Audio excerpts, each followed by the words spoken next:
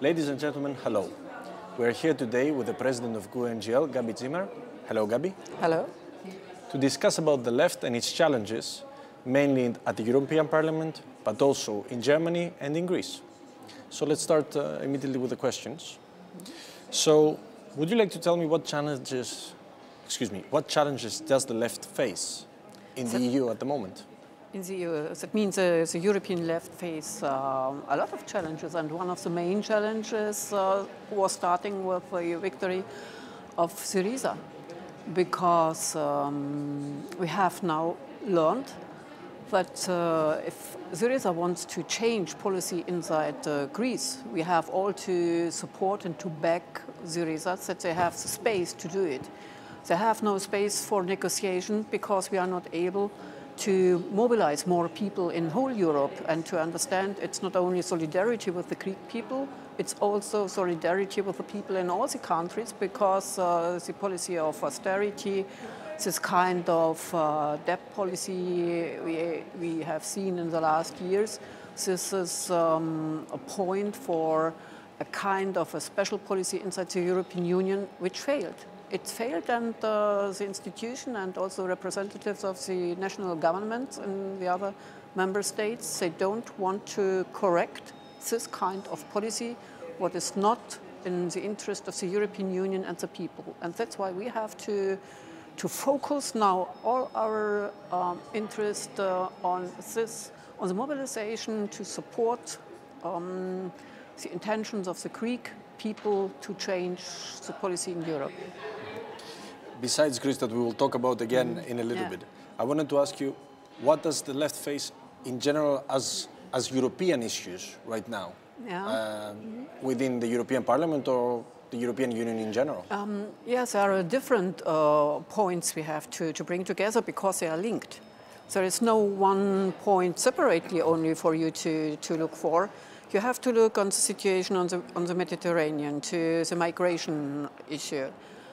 Um, if we are not able to, to make pressure on the national governments, on the EU institutions to, to change the behavior and saying we have to, to realize uh, the human rights for all people inside the European Union, and one part is also that we have to support people, refugees from, from other countries in the world, that we have to guarantee the right of political asylum, uh, then we are not able also to, to realize human rights inside the European Union. We have to, to work out a new European and EU asylum and migration policy.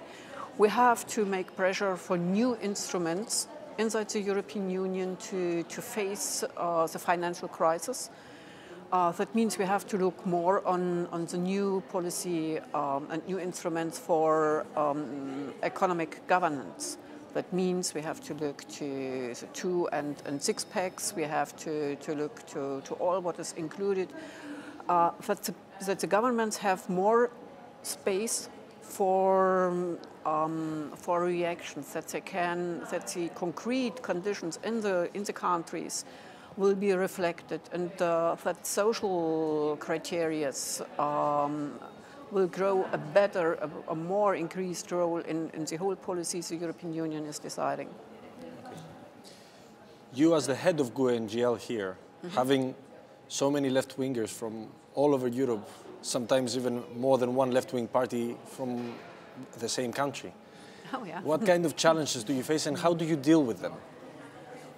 This is a challenge, uh, especially because uh, since the last election we were broader. Not only the fact that you have different parties from, from one country, left parties um, with different understanding from one country inside our group, uh, which are in, in, their own countries, a little bit in a concurrent situation. But we have also not, uh, we have now movements and parties with an under uh, with, an, with um, a new understanding of their policy and how to act.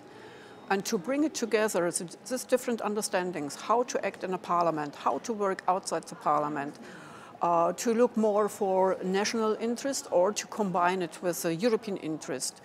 Uh, this is one of the most of the biggest challenges, and we have to realize we are the only project in the European Union where left people from such different political left parties are able to work together. And uh, if we are uh, successful, it will be a good signal also for the cooperation, stronger cooperation uh, of the Europe, of European left parties. Uh, since you said about changing our countries, though, let's go to your country. And um, I would like to tell me because we don't hear a lot about how's the social situation now in Germany. I read the research recently that said that about 12 million people are under the poverty line in Germany at the moment. Germany, who's supposedly leading Europe economically. So, what's happening there, if you could tell me? Oh, this is a development over a long period. It was not uh, suddenly in, only in the last month or in the last year. Um, starting uh, in, in, the period when uh, the neoliberal crisis was on, on their point, uh, you could see that the lag between poor and rich in Germany was uh, deepened, deepened and um, increased. And in my mind, um, the crisis and also the consequences of the crisis, uh, you can't uh, only not only reduce it to Greece or South Europe or so. You have also to look to to groups in the population in in Germany or to to the rich, so-called rich countries, because um, what the wealth of um, of the countries is now distributed only to a small small part in, in our uh, strong economic countries. But uh, a lot of people are under the poverty line, uh, more than 50% in, of the whole population, and especially looking to child poverty, you have to, to state uh, that we have 90% of, the of children living under the poverty line. And um, this is one of the points uh, the, the left group and the left party in Germany has to face because in the medias you will not find this group, these people. You will not find any report about uh, their life. You will only uh, find uh, that all people in Germany are happy and that they are in trust to Angela Merkel because Angela Merkel was responsible that Germany uh, went to the crisis with, with, such a success. But it was not uh, the focus on the people under the poverty line, and we have to do it. We have to look for these people. You answered my next uh, question as well. I wanted to ask you about Die Linke and how it deals with the problems in Germany, yeah. but you're already uh, doing everything by yourself. But I would like to, to, to explain uh, something additional, yeah, yeah, if it's yeah, possible. Of course. Uh, because um, Die Linke in Germany is uh, the leader of the opposition. But nevertheless, you have to see that we have a grand coalition and the opposition to, uh, together with the Greens is, is small. We have only 20% in the Bundestag. That means we are not able to decide and to, to, to ask for, for inquiry committees or other things. Um, we are uh, limited in our rights and parliamentarian rights because of this small opposition. And of course, we have also to look to other issues, the social issues, uh, fight against poverty. I spoke about it, but we have also to to uh, to do more and to get. Um, uh, brought um, attention uh, to it, uh, to, to the issue of data protection. And uh, we have a big scandal now in, in Germany because uh, the National Security Service uh, distributed data from, from people, from enterprises in Germany, in Europe, to the NSA, to the Americans. And now it's not clear what is going, what is going on. Will, be, will Merkel be able to come out of this? We will see. We will see. And it's not clear about who's uh, monitoring who nowadays, yeah. I think. Yeah, well. and, and it's incredible that Merkel was saying today, okay, we have a, we have a, a problem, we have to clarify it, and, uh, but the data we sent it to the Americans, I will only present to the public if the Americans agree. What's that? What's that? The Americans have to agree if Merkel is able to, to present the list of the data, send it to NSA. This is a scandal. Sounds like it. Yeah. Moving on to my favorite subject about Greece, uh, I would like to ask you, what do you think is going to happen in the end with Greece? We hear about, we hear a lot about possible compromise, discussions, and uh, how do you think, how do you feel about how the negotiations are going with ECB, with the Commission, and with the IMF for now? I, I think the strategy of Merkel and others was to, to say um, um, the best will be a muddling. Uh, through, so, through all the negotiations and to, to hold this, the balance, not more. They, they didn't want to, to they don't want to correct uh, the neoliberal policy and austerity policy because they had to, to say our policy in the last years failed. They don't want to do it and they don't want to, uh, to, to enforce um, the left groups in, in Spain and other member states. This is the one policy, they are in a dilemma. They have a real dilemma. And that's why Schäuble and others are very strictly and against any kind uh, of solution now. I think they are, they, um, they have in their feeling, they're trying to, to bring Greece to, to, to an edge, saying this is the last we could do and now you are responsible if uh, this will fail. Um, this is a very huge strategy uh, playing with the future of the European Union, not only of Greece, but for the whole uh, the European Union.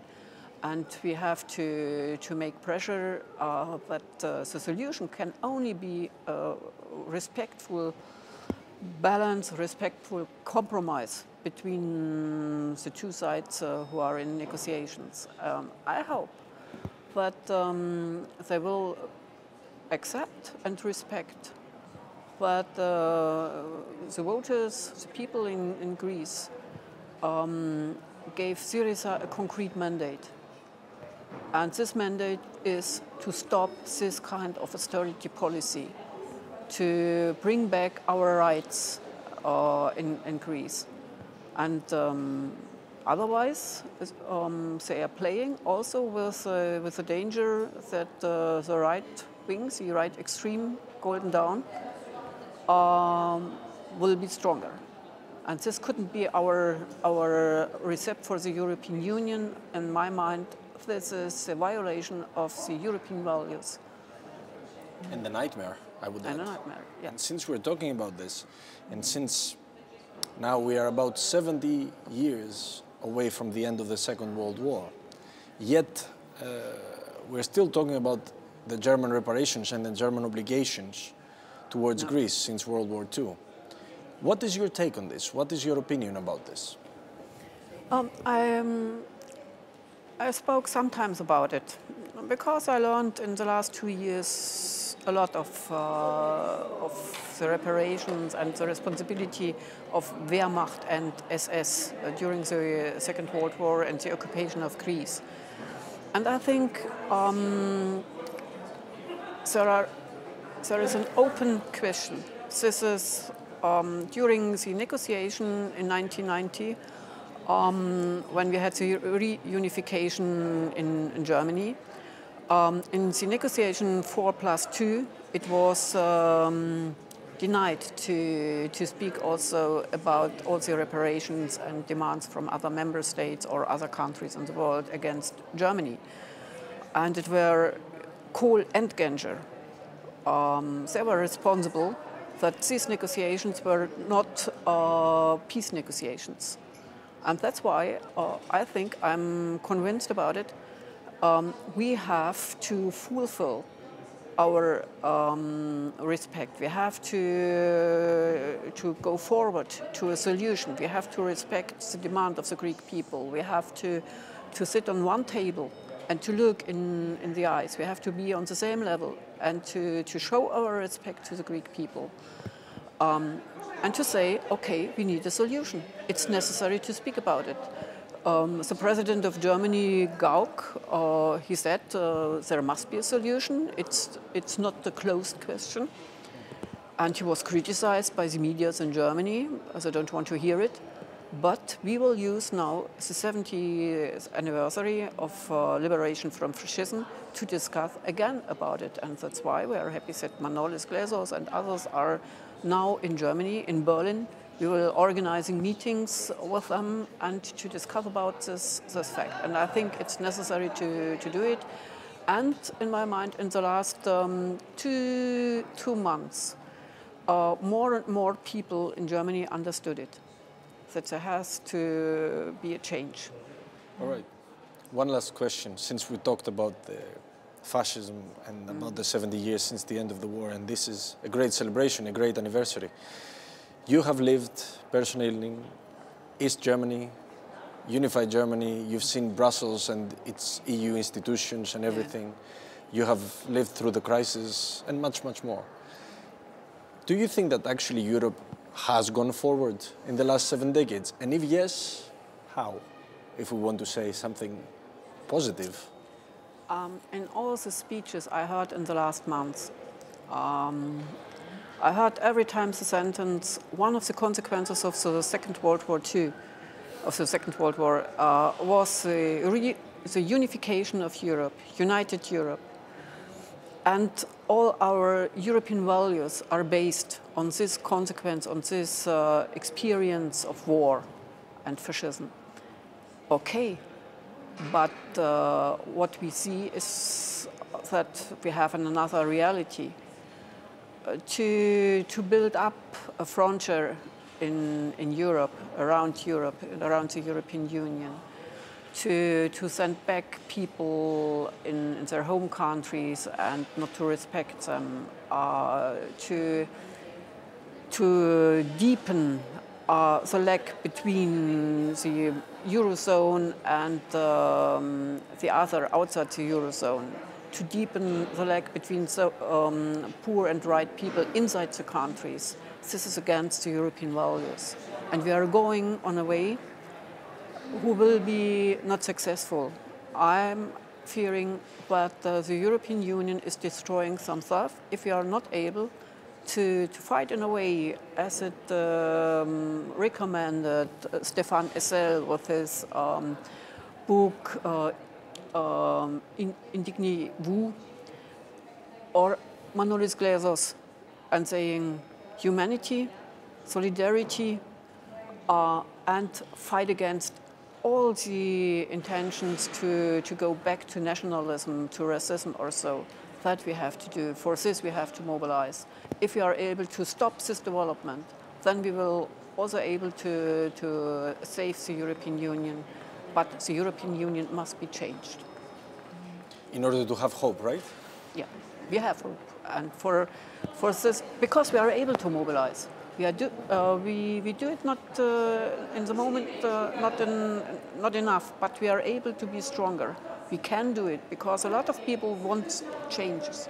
They want changes because they, they have the experience this is not the future to, to, to, uh, uh, to fight against or also. We, we need solidarity. We need it. And we have to respect um, each other.